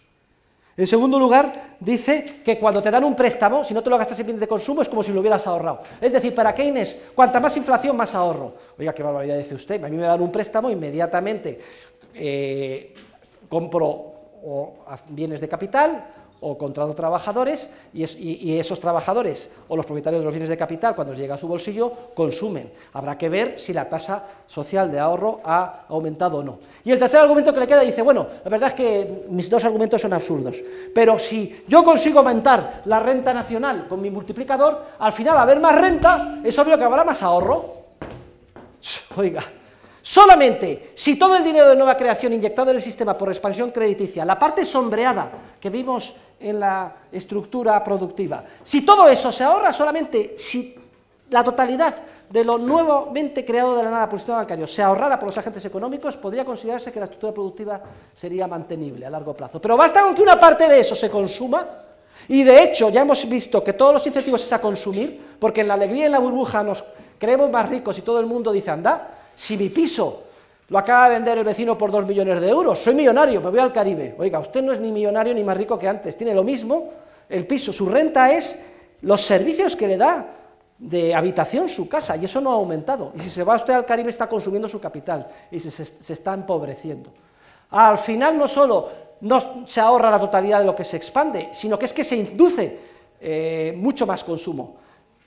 Y basta con que una parte de lo que se inyecta no se ahorre para que se desencadenen todos los seis efectos micro que ya analizamos y que ponen fin a la burbuja y eh, hacen que los deseos verdaderos de los consumidores preponderen y surja la crisis financiera y la recesión económica. El análisis keynesiano es un análisis estrictamente particular, como he dicho antes, también leanse, ya se lo han leído, el concepto de eficiencia marginal del capital.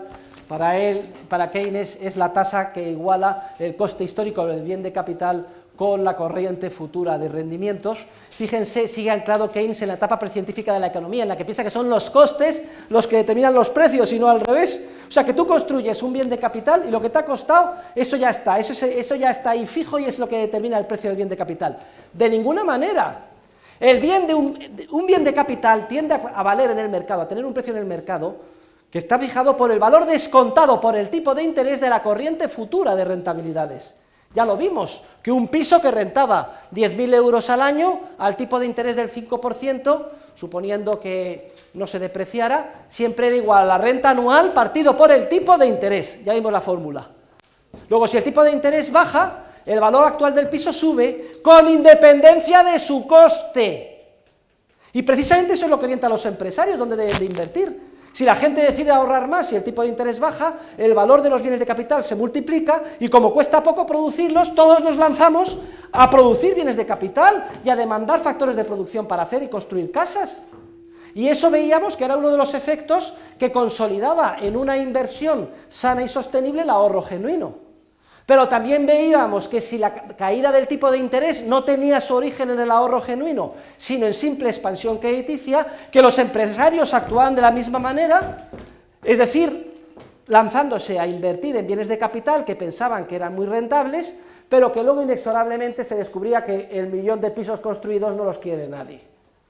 El tipo de interés cayó no porque aumentara el ahorro, sino porque el Banco Central me lo redujo a cero o incluso a, me lo, fijó en términos reales negativamente. La tasa de inflación era el, el 3% y el tipo de interés era el 1%. tipo de interés reales negativos. Los empresarios no saben si los préstamos proceden de ahorro genuino o de expansión crediticia, se lanzan a invertir. Y como una maquinaria son muy eficientes y hacen un millón de pisos que ahora descubrimos que nadie quiere. Ni nadie los quiso nunca. Pero ahí están ahí los trabajadores, las empresas, etcétera. Y ahí es el problema que tenemos reestructurar a los trabajadores hacia líneas viables, digerir esos pisos, etc. Luego, fíjense cómo Keynes sigue anclado en la etapa precientífica de la economía, previa a la revolución subjetivista en la que se pensaba que es el pasado el que determina el futuro, son los costes los que determinan los precios, y no al revés. Y quizás su definición de la eficiencia marginal del capital es la que mejor refleje ese error científico. Y respecto a la, crítica que hace Keynes a Mises y Hayek, la verdad es que es un chiste, porque malinterpreta completamente a lo que dice Mises y Hayek. Incluso el propio Robertson le escribe una carta y le dice, oye, Keynes, estás diciendo justo lo contrario de lo que dice Mises y Hayek. Y Keynes le contesta, tienes razón, Robertson. En el próximo escrito voy a reconocerlo. Y saben ustedes, no lo hizo jamás. No me atrevo a calificar de mala fe científica, pero la verdad es que todos los indicios van por ese camino. Muy bien, no les voy a entretener con el principio del acelerador, léanselo, la crítica del acelerador, que no tiene ninguna base científica, está en la página 439 a la página 443, pero por favor les rogaría que vayan todos ustedes como conclusión, y esto se lo voy a preguntar en el examen final, al cuadro de la página 71 que ah, perdón, al cuadro 7.1 de la página 449. Cuadro 7.1 de la página 449.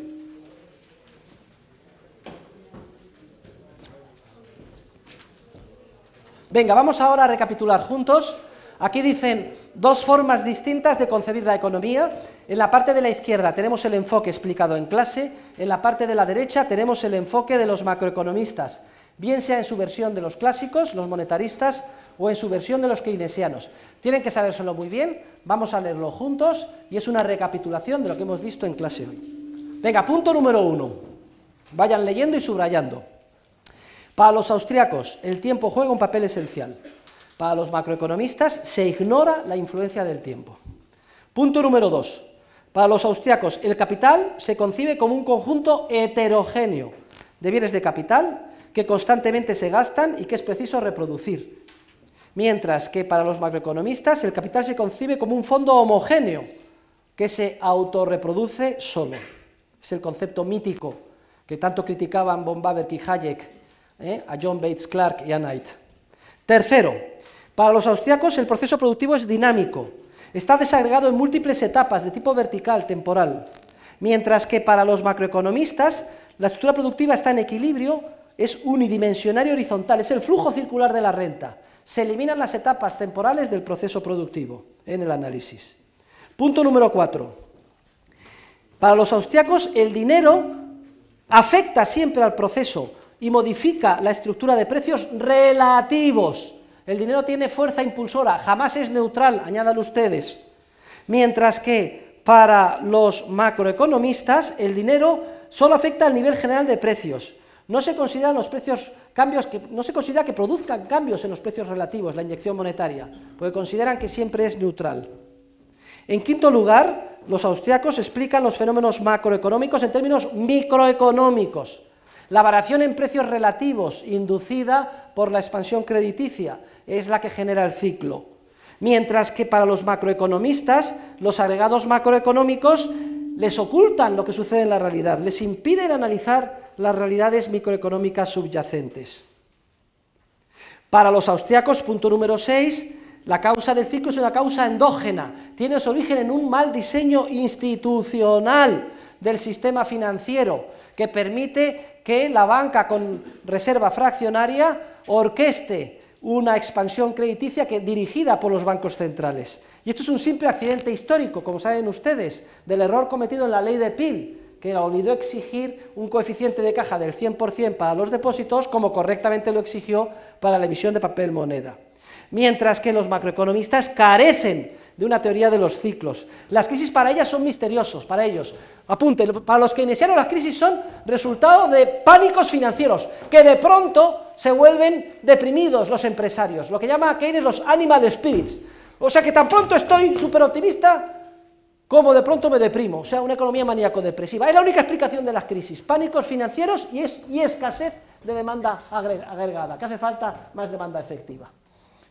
Para los monetaristas, a lo mejor son un poco más sofisticados, shocks externos, de pronto hay un shock externo del petróleo, algo externo, ¿eh?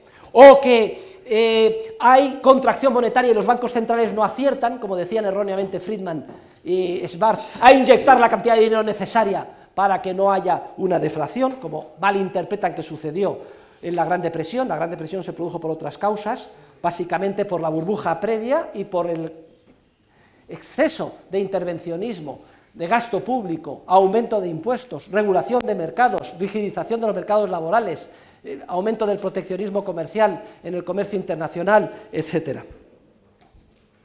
Luego, carecen de teoría de los ciclos y los achacan a causas exógenas, psicológicas, tecnológicas o errores de política monetaria. En séptimo lugar, los teóricos de la escuela austriaca, si algo les caracteriza es su elaborada teoría del capital. No vamos a insistir en la importancia esencial que tiene esto. Señoritas, mientras que los teóricos monetaristas carecen de teoría del capital. En octavo lugar, el ahorro. Para los austriacos, página siguiente, el ahorro es esencial. El ahorro es lo que determina un cambio vertical, longitudinal en la estructura productiva, lo que hace que ésta sea más productiva, lo que hace posible un desarrollo económico sostenible del que nos beneficiamos todos. Mientras que para los macroeconomistas el ahorro no es importante, es increíble, ¿eh? porque como el capital se autorreproduce solo, de manera lateral, y la función de producción es fija, no hace falta ahorrar. Y si cualquier problema es por escasez de consumo. En noveno lugar, para los austriacos, la demanda de bienes de capital varía en dirección inversa a la demanda de bienes de consumo. Solo se puede invertir en la vara, el bien de capital de Robinson Crusoe, recuerden, si previamente Robinson Crusoe ha ahorrado, es decir, ha pospuesto su consumo inmediato, se ha disciplinado, se ha sacrificado, disminuyendo temporalmente su consumo. Mientras que, fíjense, para los macroeconomistas, bien sean keynesianos o monetaristas, la demanda de bienes de capital varía en la misma dirección que la demanda del consumo. Es decir, si usted consume más, se invierte más. Oiga, pero ¿cómo va a ser posible las dos cosas a la vez? Consumir más e invertir más, que significa posponer el consumo. Pues no, en los modelos macroeconomistas, aunque parezca increíble, así es como se razona. Punto número 10. Caballero, le estoy escuchando, ¿eh? Y no se dará usted cuenta que estoy haciendo un esfuerzo, ¿no? Bueno, pues no me insulte en la cara. Todo el mundo concentrado y pensando en lo que digo. Estamos en la universidad. ¿Está claro? Tercer aviso. ¿eh? Estoy trabajando para ustedes. Por favor, tengan un poquito de delicadeza y aprecien el esfuerzo que hace el profesor.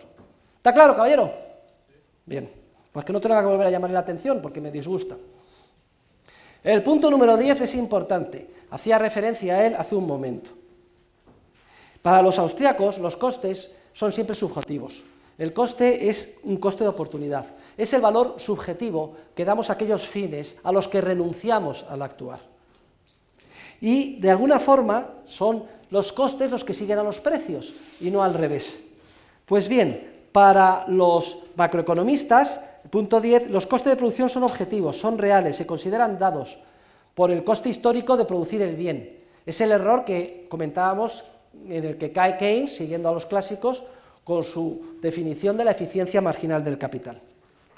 Y el corolario, en el punto número 11, los austríacos consideran que son los precios de mercado los que tienden a determinar los costes. Si usted piensa que puede vender un sombrero por 100 euros, está dispuesto a incurrir costes hoy hasta 80-90, pero no más, Son los costes los que siguen al precio que piensa que va a vender. Y no al revés. Los macroeconomistas al revés piensan que, que los precios vienen determinados por los costes. Idea absurda. Si los precios vinieran determinados por los costes, ser empresario no tendría ningún mérito. Yo incurro en costes, le meto un margen de beneficio y vendo, y sencillo. Pues no es así. Es como el burro que sigue a una zanahoria. La zanahoria son los precios y el burro los costes. Los costes siguen a los precios y no al revés. Pero los macroeconomistas, en su versión, sea de Chicago o keynesiana, consideran los costes de forma objetiva eh, como un dato histórico, discernible, como si existieran funciones de costes, que son las que tienden a determinar los precios. Todo esto solo se cumple en su fantasmagórico mundo de equilibrio con ajuste perfecto en el que no existen cambios y no hay empresarios. Y punto número 12, los austriacos consideran el tipo de interés como un precio de mercado determinado por las valoraciones subjetivas de la preferencia temporal. Es el precio de los bienes presentes en función de los bienes futuros. Y ese tipo de interés se utiliza para descontar el valor hoy de la corriente futura de productividad de cada bien de capital, el ejemplo del alquiler del piso, que les he puesto tantas veces. Mientras que para los macroeconomistas el tipo de interés viene a estar determinado por la productividad marginal del capital o la eficiencia marginal del capital, la tasa interna de retorno que iguala el coste histórico con la corriente futura de servicios que proporciona cada bien de capital, o bien considerar el tipo de interés como un fenómeno cortoplacista estrictamente monetario, como el caso de Keynes. Son dos concepciones de la economía radicalmente distintas y excluyentes. O nosotros tenemos razón ellos están completamente equivocados, o viceversa. Y ustedes ya tienen todos los argumentos para quedar convencidos de que los que tenemos razón somos nosotros. Algo, por otro lado, obvio, analizando de, una, una manera imparcial y objetiva el esquema conceptual de unas y otras escuelas. Y con esto terminamos, queridos alumnos, este capítulo. Vamos a pasar a hacer unos comentarios del siguiente, el capítulo 8. Hoy vamos a alargar la clase 15 minutos, porque tengo interés en terminar el libro el jueves.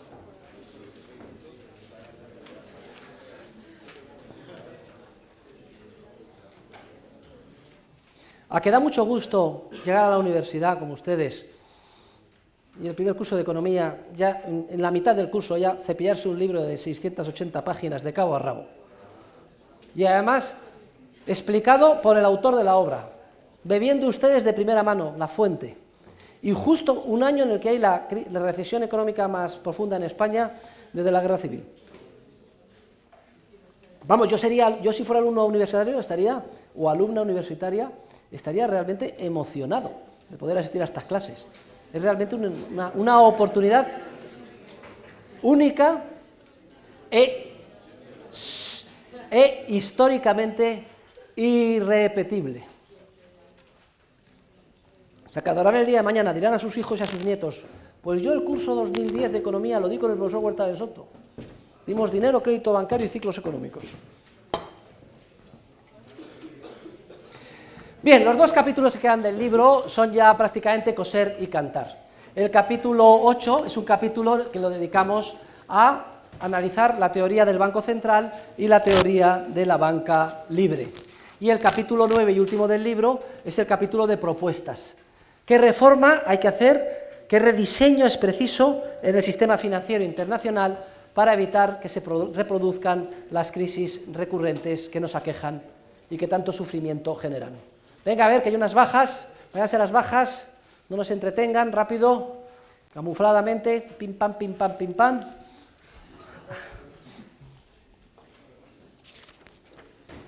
Bien, es, el pensamiento sobre la banca es bastante, tiene bastante tradición.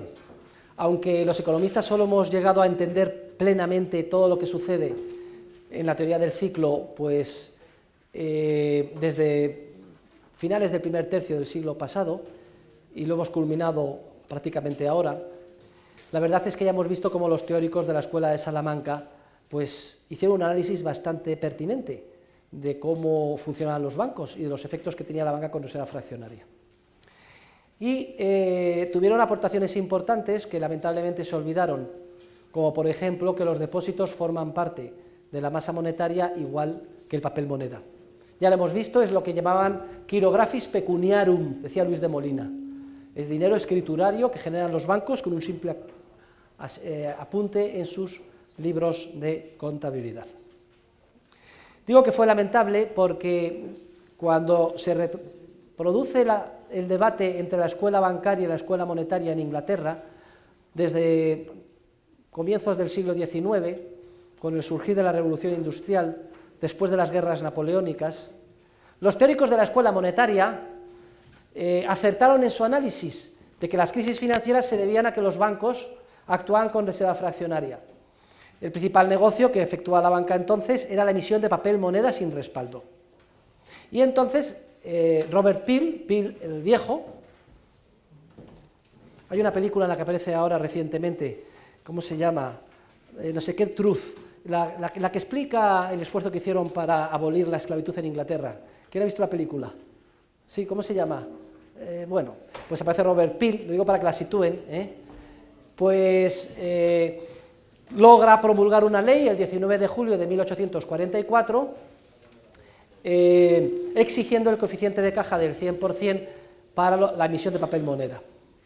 Pero se les olvida exigirlo también para la emisión de depósitos y entonces la ley queda eh, de alguna forma no inoperativa. Los bancos redirigen su negocio, dejan de emitir papel moneda sin respaldo, pero empiezan a emitir depósitos sin respaldo y siguen produciéndose las etapas sucesivas de auge y de crisis financiera y recesión.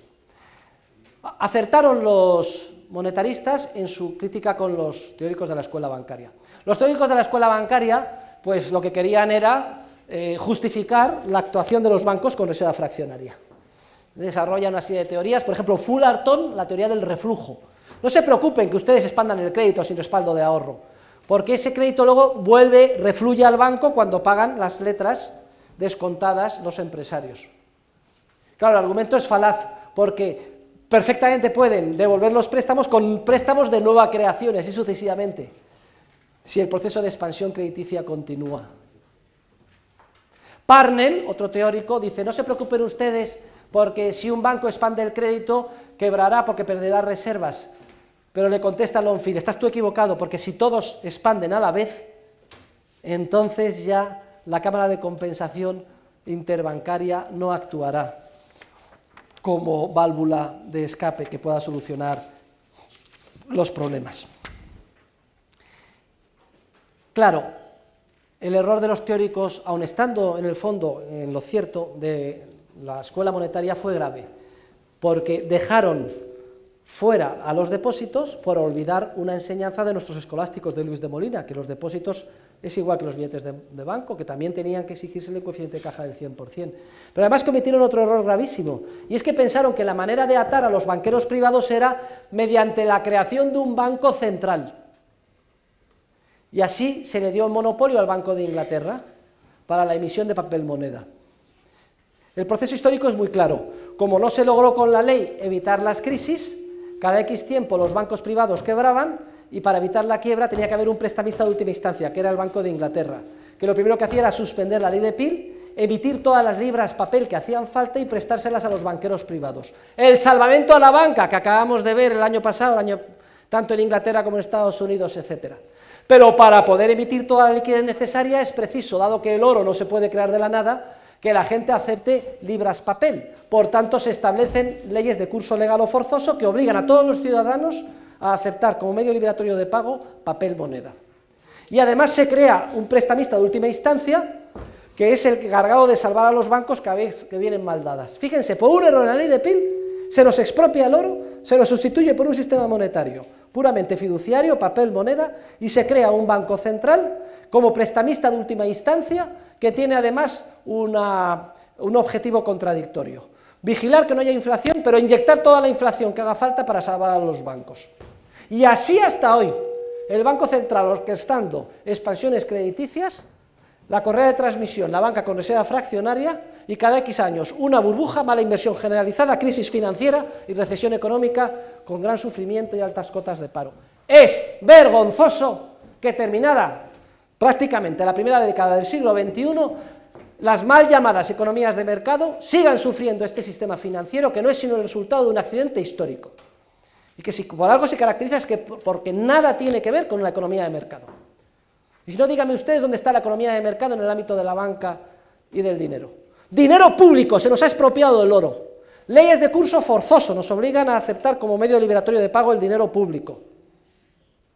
Un órgano de planificación central financiera que se llama Banco Central, que se empeña en detectar la demanda de dinero y establecer la masa monetaria óptima, que fija por decreto el que debería de ser el precio más importante y libre del mercado, el tipo de interés que orquesta las expansiones crediticias y que es el responsable en última instancia de todo lo que nos asola. Y sin embargo, cuando viene la crisis, ¿qué es lo que leemos en la prensa?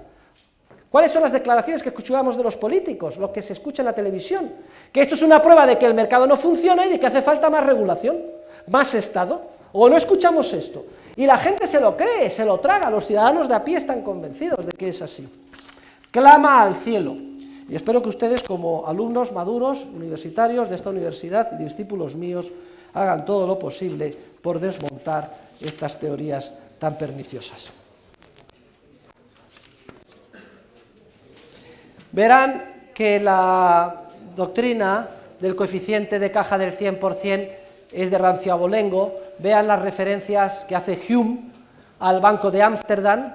Ya hablamos sobre el Banco de Ámsterdam al comienzo del eh, curso, pero lo importante es que al final se organizó un debate falso entre unos que eran los teóricos de la escuela monetaria que defendían al Banco Central y otros, los teóricos de la escuela bancaria de reserva fraccionaria, que defendían la banca con reserva fraccionaria.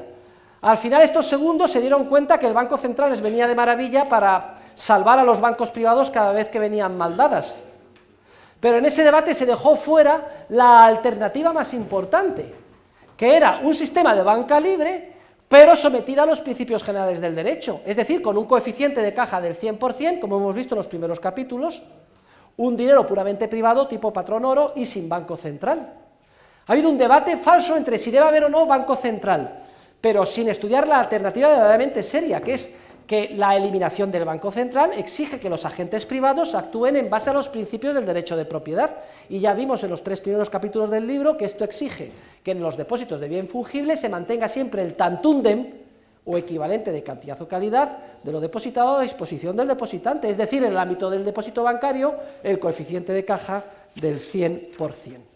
Y solamente unos pocos teóricos, en Francia, en Alemania, en Austria, se dieron cuenta de que la única manera de lograr las prescripciones sanas monetarias de la escuela monetaria era sin banco central y con un coeficiente de caja del 100% para los bancos privados en un entorno de libertad.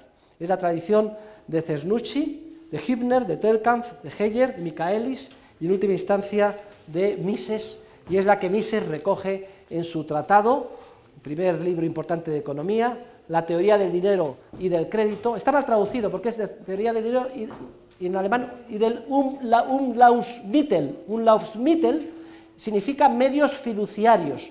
La traducción correcta hubiera sido teoría del dinero y de los medios fiduciarios, que, ya sabemos que, los, que son los depósitos sin respaldo de ahorro. Y se ha traducido como teoría del dinero y del crédito, que el crédito es la contrapartida de esos depósitos sin respaldo de ahorro. Vayan por favor a la página 502, donde está el, cuadro de la página, el cuadro 8.1, y verán que en realidad lo que hay son cuatro escuelas, esto es muy importante.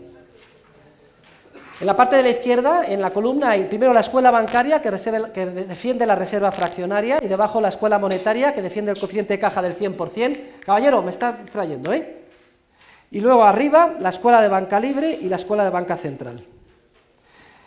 En un principio los teóricos de la banca libre defendieron la reserva fraccionaria, luego sería la celdilla de arriba a la izquierda, mientras que los teóricos de la escuela monetaria defendieron el banco central, la celdilla de la derecha abajo.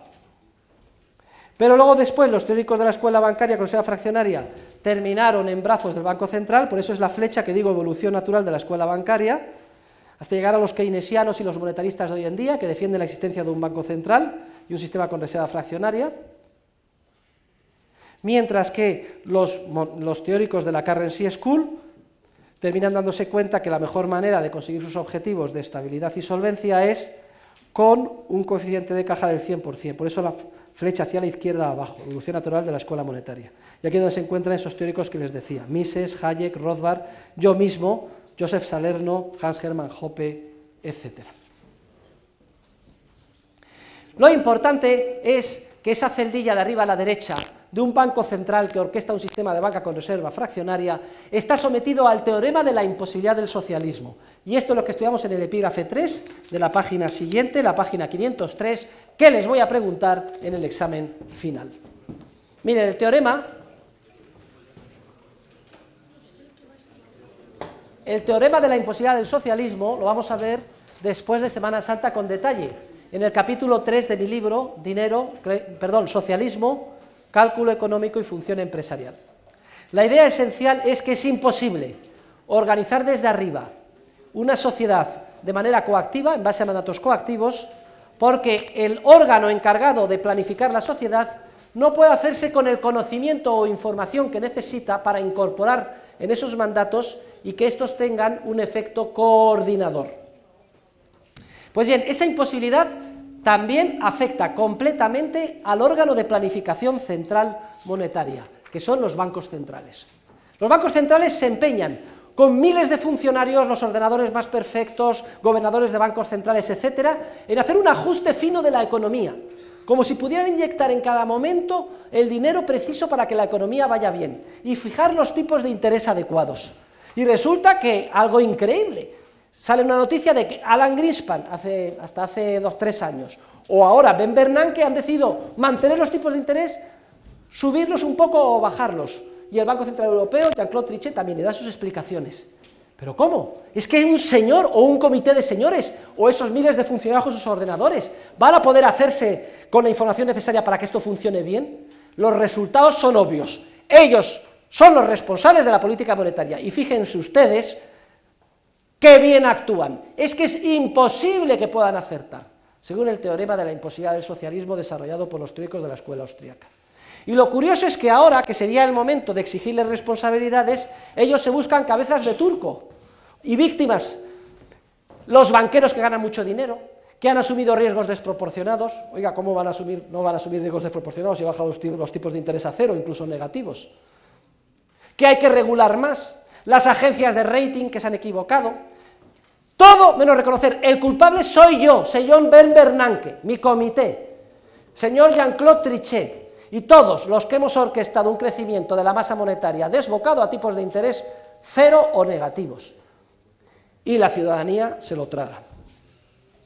Estudio el teorema de la imposibilidad del socialismo en relación con el sistema financiero en tres ámbitos. El de la banca con reserva fraccionaria, en el que vivimos ahora, se estudian las posibilidades de, que determinadas reglas monetarias, como la regla de Taylor, puedan servir para orientar la política monetaria correcta, y demuestro que es teóricamente imposible. También en el sistema de banca con coeficiente de caja del 100%, pero manteniendo un banco central que se ocupe de proporcionar la base monetaria, es la propuesta de Maurice Allais, Premio Nobel de Economía francés, que, diga, que reconoce que tener un coeficiente de caja del 100%, pero que el dinero sea papel moneda fiduciario y que crezca un 2% al año y lo emita el Estado. No nos podemos fiar. El dinero manipulado por el Estado es peligrosísimo. Tenemos muchos ejemplos, o algunos importantes, como en la Argentina del general Perón, que con un coeficiente de caja del 100%, pero con base fiduciaria, se organizó una distorsión tremenda también. Y luego también, en tercer lugar, analizo el caso de la banca totalmente libre, libre sin banco central, pero actuando con un coeficiente de reserva fraccionaria, de manera privilegiada. Y también explico cómo tampoco puede funcionar. La conclusión, ¿cuál es? Pues la conclusión la tienen ustedes capítulo, en, el epígrafe final de este capítulo. Pero antes me gustaría que fueran a la página 519. Vayan a la página 519. Y aquí es donde se critica que pueda funcionar un sistema de banca libre con reserva fraccionaria sin banco central, porque, porque hay un incentivo muy grande a que se pongan de acuerdo y orquesten entre todos los banqueros privados una expansión crediticia. Vean ustedes que hay dos bancos, Banco A y B, cada uno de los cuales puede, mire, mire por favor, página 519, puede o no expandir o expandir. Si ninguno de los dos expande, superviven los dos, pero con beneficios pequeños. Si cualquiera expande, pero el otro no, quiebra, porque pierde las reservas y se va al otro banco, a través de la cámara de compensación.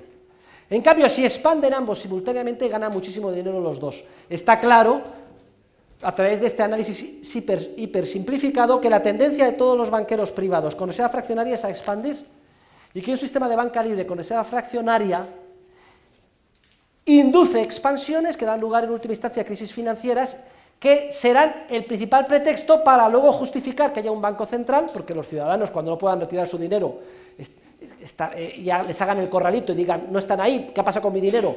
Exigirán que les salven.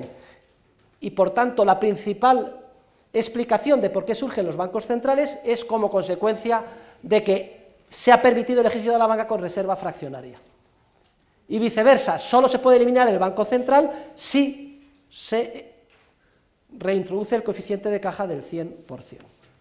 ¿Y quién emite el dinero base? Lo veremos en el próximo capítulo, el próximo jueves lo emite, no se especifica que se haya levantado la clase, lo emite, próximo jueves, lo emite el propio mercado a través de un patrón oro, pero no les quiero adelantar acontecimientos. La página 525 hasta el final del capítulo, vayan a la epígrafe 4, página 525, es un análisis crítico es un análisis crítico de toda la escuela moderna de reserva fraccionaria, de banca libre con reserva fraccionaria y sin banco central. Aquí ha habido un debate muy importante en diversos artículos científicos en Estados Unidos, incluso dentro de la escuela austríaca, porque hay un grupo de economistas austríacos que defienden eliminar el banco central, pero dejar que los bancos hagan lo que quieran. Están encabezados por White, Selkin y otros. Y yo aquí explico que en esas circunstancias también se generarían ciclos económicos. Es cierto que no se llegaría tan lejos en la expansión como cuando está orquestada por un banco central, pero también se generarían ciclos económicos. En base al argumento de Longfield, que les acabo de comentar antes, que se ponen de acuerdo los bancos entre sí, ¿eh? y en base a la concepción dinámica del mercado. Léanselo porque es un debate apasionante que está teniendo lugar en este momento en la ciencia económica y en el que el profesor de ustedes, y de manera no voluntaria, pues ha terminado siendo de alguna forma protagonista. Venga, y vayan por favor a la última página, 556. Última página de este capítulo, página 556. Vamos a leerla juntos. Quiero que todo el mundo subraye esta página. Venga, vamos a leerla juntos, que con esto terminamos. Conclusión la falsa polémica entre la banca central y la banca libre con reserva fraccionaria. Venga, vamos a leerlo juntos. El, el planteamiento, página 553, supóngale un gran recuadro. Eso te lo tienen que saber de memoria, se lo voy a preguntar en el examen final. El planteamiento tradicional de la polémica entre los partidarios del Banco Central y los de la banca libre con reserva fraccionaria es esencialmente erróneo. En primer lugar, tal planteamiento desconoce que el sistema de banca libre con reserva fraccionaria desencadena unas tendencias prácticamente inevitables para que surja, se desarrolle y consolide el Banco Central. Pongan ahí una, nota si quieren, cuando la gente va por su dinero y no está, todos claman a que el gobierno solucione el asunto y se cree un banco central. La expansión crediticia que da lugar la banca con reserva fraccionaria genera unos procesos de reversión en forma de crisis financieras y recesiones económicas que llevan inevitablemente a que los ciudadanos exijan la intervención pública y la regulación estatal de dicha actividad. En segundo lugar, los propios bancos implicados en el sistema pronto descubren que minoran el riesgo de insolvencia si llegan a acuerdos entre ellos. Se fusionan, ¿qué es lo que quiere hacer ahora el Banco de España para solucionar el problema? Que se fusionen las cajas de ahorros. E incluso demandan la constitución de un prestamista de última instancia que les proporcione la liquidez necesaria en los momentos de agobio. e institucionalice y dirija oficialmente el crecimiento de la expansión crediticia. Fíjense ustedes, al violarse los principios, la gente quiere tener su dinero seguro, por tanto acepta que haya un dinero público, un banco central que, respalde todo, y los propios banqueros privados son los primeros que digan que haya un banco central, porque si no, no voy a poder pagar y me voy a caer con todo el equipo. Podemos, por tanto, concluir que el ejercicio de la banca, con un coeficiente de reserva fraccionaria, históricamente ha sido el principal responsable de la aparición y desarrollo de la aparición y desarrollo